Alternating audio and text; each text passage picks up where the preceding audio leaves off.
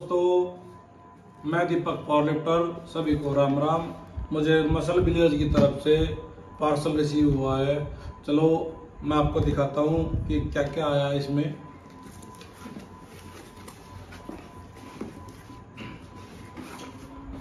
Number एक, workout coffee.